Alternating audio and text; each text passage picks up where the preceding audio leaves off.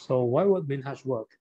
Remember that our goal is to find a hash function h such that if the similarity of C1 and C2 is high, then with high probability, we have that the hash value of C1 is equal to the hash value of C2.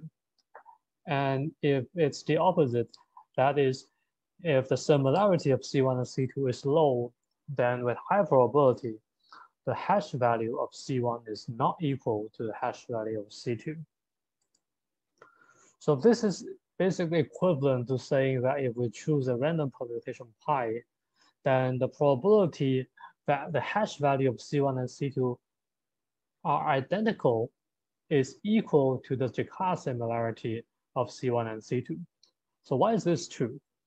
And here comes the most difficult part of this lecture, which is to prove that this claim is actually true. So let's look at an example. Let's say that we have already chosen a permutation pi, and this, this column is actually the permuted version of C1, and this is a permuted version of C2. And correspondingly, this is a permuted version of C1 union C2. So let's say that y is a shingle and pi of y is actually um, the hash value of C1 union C2. So in this example, in this example, basically this is free because we can see that the third row is actually the first row that this column is mapped to one. Then if the hash value of C1 union C2 is free, then either one of these statements is true. Either the hash value of C1 is free or the hash value of C2 is free. And both of these two statements are true only if this shingle Y is actually in the intersection of C1 and C2. And in this case, in this example, that happens to be the case.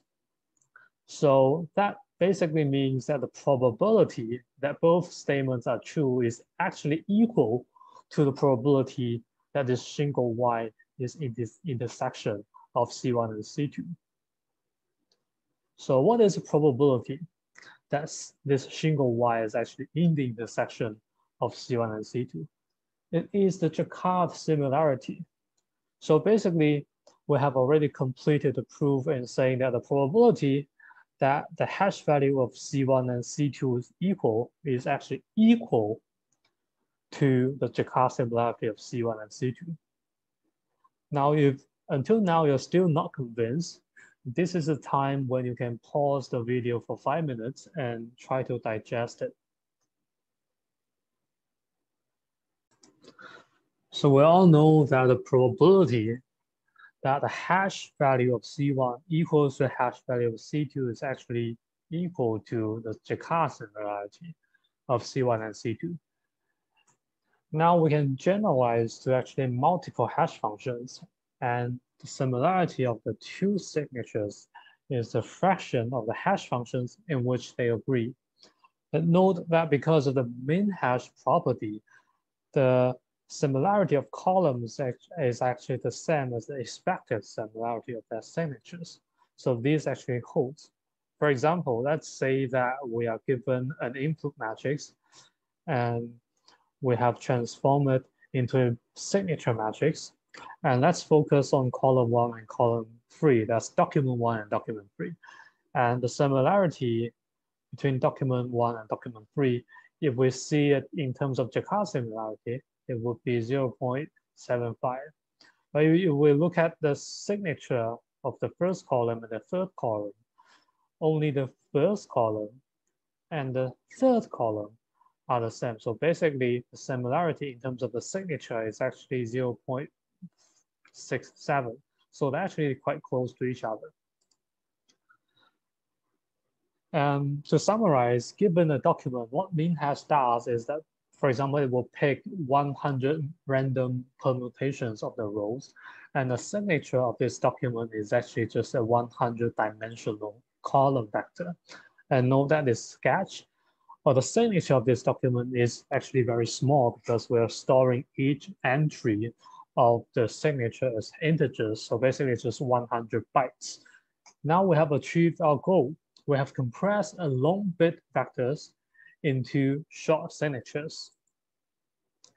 But one problem of directly using min hash is that permuting rows sometimes can, even once, can be computationally prohibitive.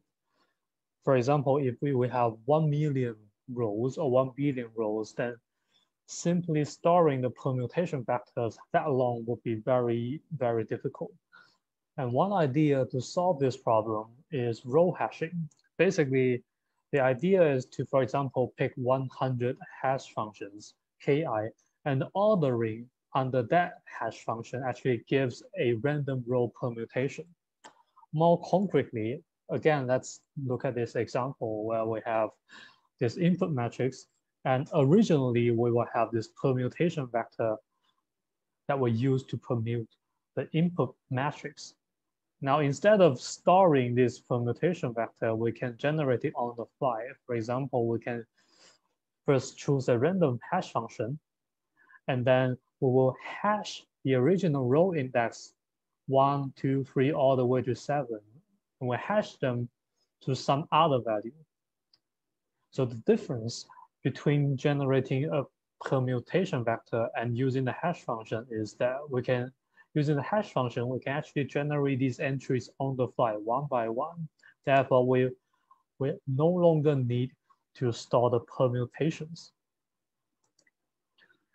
And therefore, we have a one-pass implementation of the algorithm. For example, let's say that we're given two documents represented by two columns, C1 and C2. And let's say that we have two hash functions, h of x and g of x. How are we going to use the min hash to generate the signature matrix?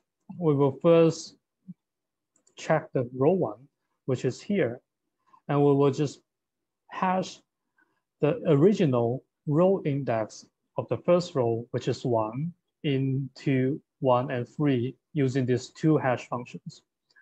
And we'll go back to check the first row of C1 and C2. And since only C1 has a one here, we only need to update the signature of C1.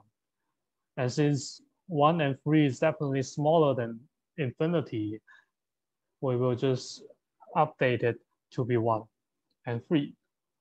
And then we will go through to the second row.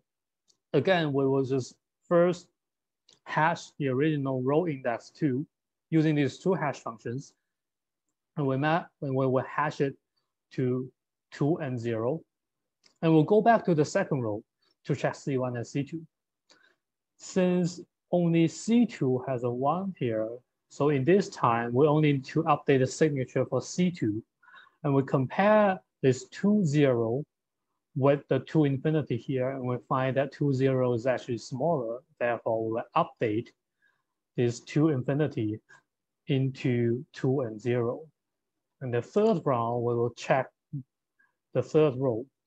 We're doing, we will be doing the same thing. We'll just hash the original row index, the third row.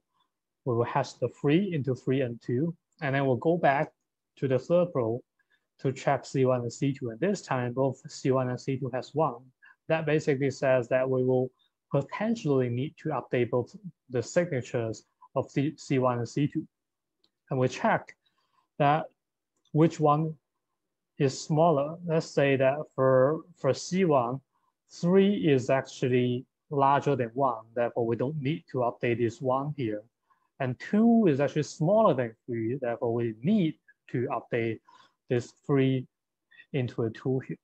For the signature of C2, since 3, 2 is actually larger than two zero, we don't need to do anything. And we will perform similar steps for the fourth row and the fifth row and get the final signature here.